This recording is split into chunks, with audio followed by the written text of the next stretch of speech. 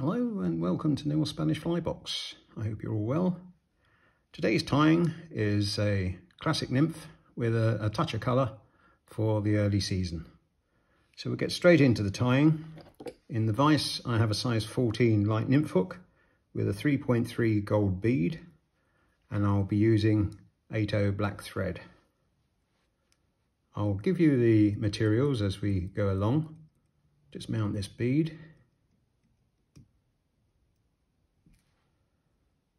it up a little. And trim off the excess. Right, I'm going to be using some Coq de Lion for the tail and this is a uh, ginger Coq de Lion. And I've taken a feather off. So I will take off some fibres. Now these are quite fine. So I will be taking off six or seven and tying those in.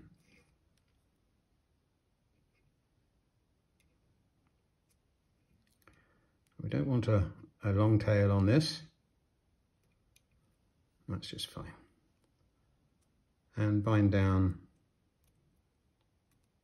the fibres of the coq de lion and trim off the butts. Now we're going to put an orange tag on this and uh, I'm going to use some Glo-Brite orange and this is number seven. Just take a piece off. I'm just going to dampen the end to make it easier to tie in.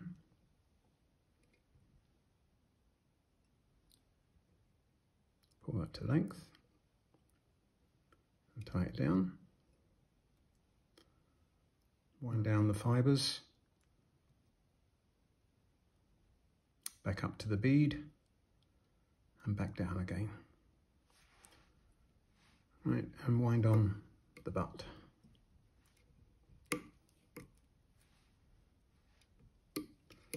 And we're going to make this quite a, a healthy butt so that it is quite visible.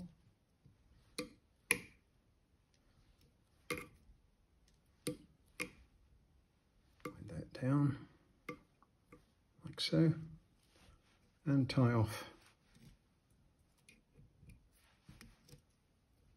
the orange butt.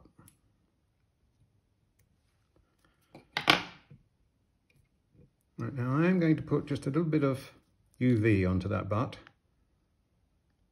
It will hold it in place, it will stop it slipping, but also that is the area that is most likely to be affected by the teeth of the trout.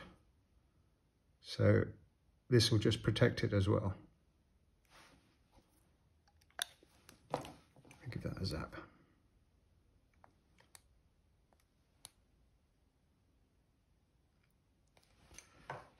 Right. Now we'll take up those fibres and build up the body. Back down to the tag. And we're going to tie in a copper rib. This wire is uh, 018. So I'll tie that in.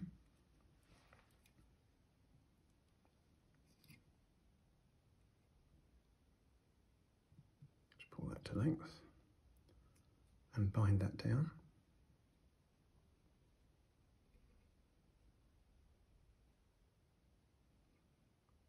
Back down to the tag. Right, now we're going to tie in some pheasant tail fibres and four or five would do the job. So I'll just tear those off and I'll trim up the points and the butts and tie those in. Pull them to length and bind them down.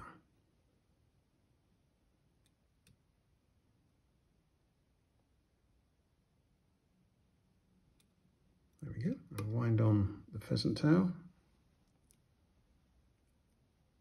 up the shank, towards the bead,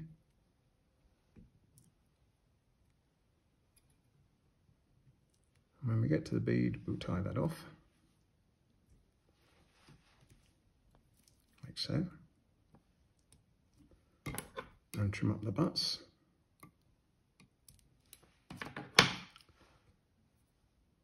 And now we'll wind on the copper wire. Only three or four turns.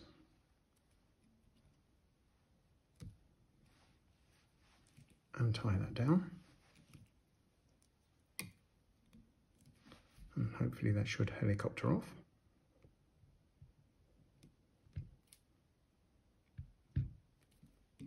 There. Okay, now we're going to now add a collar to this. And I'm going to use a mix of squirrel hair, um, American squirrel and grey squirrel. And that should create quite a leggy collar. Just dub that onto the tying thread.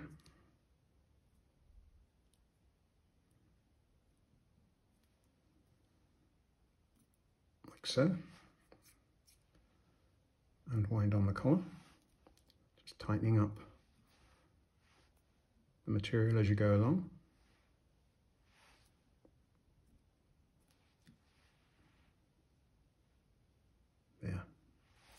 before I tie it off, I'm just going to put some glue on the thread.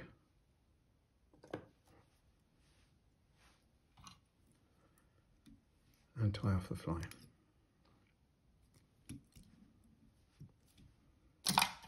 And trim up the tying thread. Right, now I'm just going to brush out this collar just a little. To make it nice and leggy and buggy. And there you have the finished fly. This is obviously uh, a great nymph. Uh, at the beginning of the season, with the orange tag, it creates a lot of interest to these trout that have been starving throughout the winter, and this is very attractive to them. Catches lots of fish. You should have it in your fly box. Do tie some up. I hope you enjoyed the tying. Do subscribe if you're not already a subscriber. Pass a comment if you want. And I'll see you in the next video. Thanks for viewing. Bye.